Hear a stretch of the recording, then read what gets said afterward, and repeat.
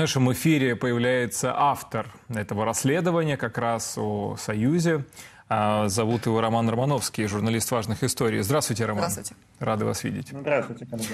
А, ну, смотрите, интересная история. А, как я понимаю, из вашей статьи собирают туда э, и собирали спортсменов, э, как правило, да, это боевые искусства, есть там прям чемпионы-чемпионы, то есть не просто какие-то, знаете, любители под, подраться во дворах.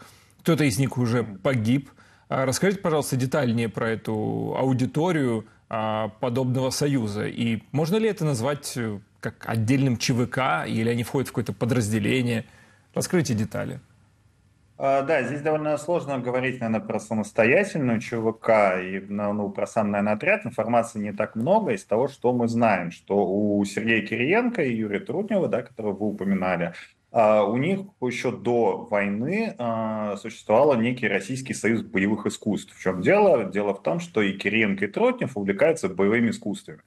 А один, по-моему, занимается карате, другой занимается айкидо. И вот была такая общественная организация, которая, соответственно, занималась спортивными соревнованиями, обучением и вела ну, до войны довольно мирную, можно сказать, жизнь. А, и, соответственно, э, когда уже началось полномасштабное вторжение в Украину, то и стало довольно модно да, иметь какие-то свои ЧВК, появилось большое количество добровольческих отрядов, то вот, соответственно, из вот этой вот группы они сформировали э, некий отряд, в который вошли соответственно, различные спортсмены из различных а, видов спорта. И там действительно, как вы говорили, и есть а, довольно заслуженные люди, есть, условно, перворазрядники. И они, соответственно, добровольно пошли воевать вот на Украину, в Украину. Как-то так. И, соответственно, вот это вот сообщество, оно его не бросает, да, и оно ему всячески помогает различным снаряжением, оружием, об, обмундированием. И, соответственно, поскольку это отряд добровольческий, да, нужно где-то на него взять деньги. И, соответственно, как мы выяснили, Трутнев и Кириенко немножко поднапряглись и а, начали а, собирать деньги, можно так сказать, с бизнеса. А Кириенко собирался, наверное, с бизнеса, который ему ближе, Трутнев с, с бизнеса, который находится на Дальнем Востоке, а, и вот эти вот бизнесмены, тайн, которые официально не поддерживают войну в Украине, в отношении которых не, не введены еще санкции, они вот таким тайным образом, а, ну, соответственно, спонсируют а, боевые действия. Слушайте, ну вот э, для того, чтобы понимала наша аудитория масштаб вообще завербованных э, спортсменов, да, а, обладатель Кубка мира по киокусинкай, это определенный вид карате, Виктор Горн, чемпион Японии по кикбоксингу Сергей Плеханов, чемпион Европы по киокусинкай, опять-таки Сергей Увицкий, его быстро уничтожено на территории Украины. А что им предлагают? Ну, ведь это все-таки спортсмены, а не какие-то вчерашние зэки. За какие условия они идут?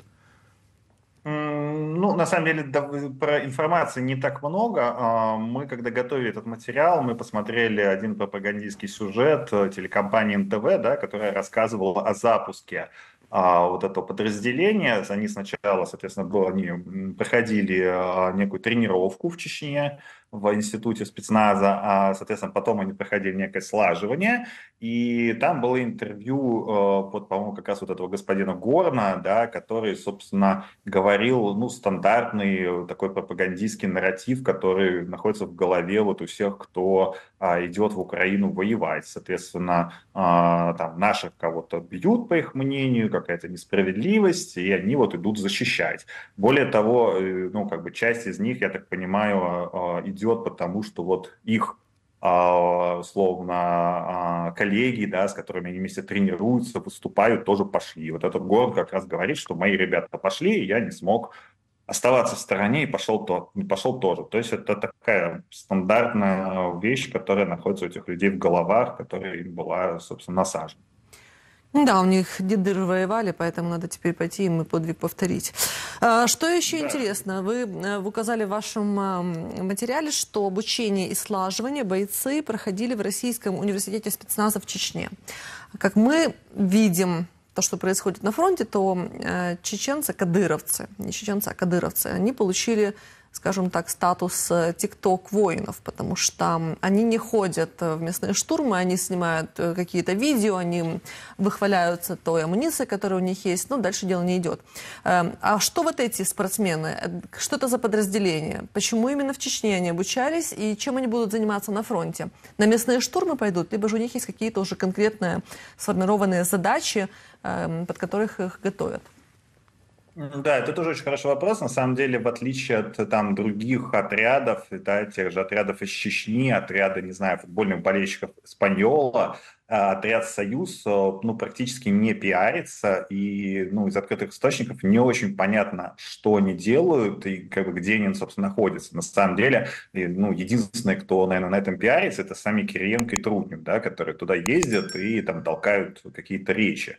А, ну, довольно а сложно, как бы сказать. быть. Э, по вашему мнению, просто так уточню, каким-то схематозом по отмыву денег, потому что вот я просто читаю, когда э, про источники, опять-таки, то, о чем вы написали, да, что есть два донора основных, это компании российского масштаба, такие, которые входят в группу Росатома, вот, и компании Дальнего Востока, где, собственно, Трутнев работает. Немножко схематозом попахивает. Есть ли такая нет, логика? Я бы не нет? сказал, да, я бы не сказал, потому что на самом деле мы просто условно разделили на две группы, да, некая группа Кириенко и группа Трутнева. На самом деле таких э, жертвователей большое количество, да, и это как а, крупные российские госкомпании, это условно а, Росгидро, Сбербанк, Банк ВТБ, угу. там, Лукойл, и некие дальневосточные, это Трутнев просто собрал, ну, известных и не очень золотодобытчиков.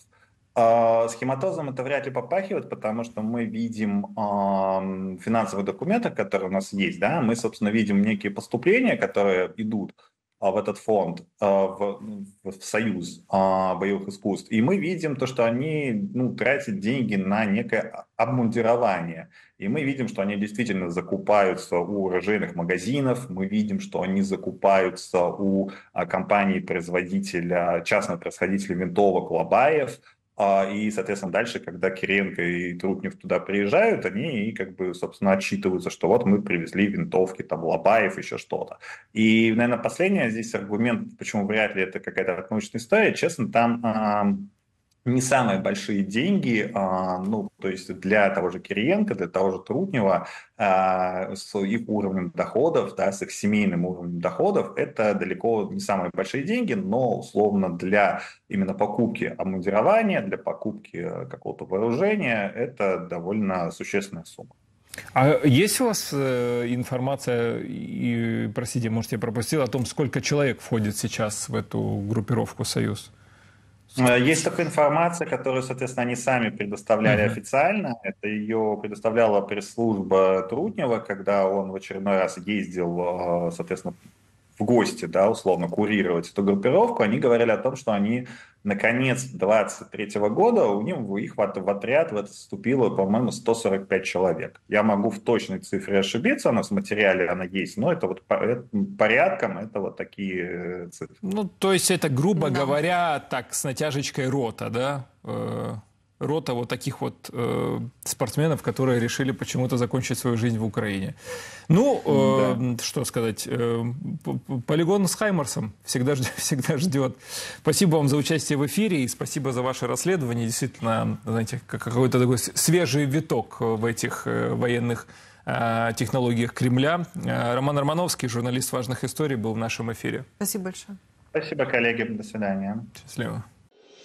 Оперативные новости, эксклюзивные видео, аналитические обзоры. Фридом в Телеграм, только проверенная информация.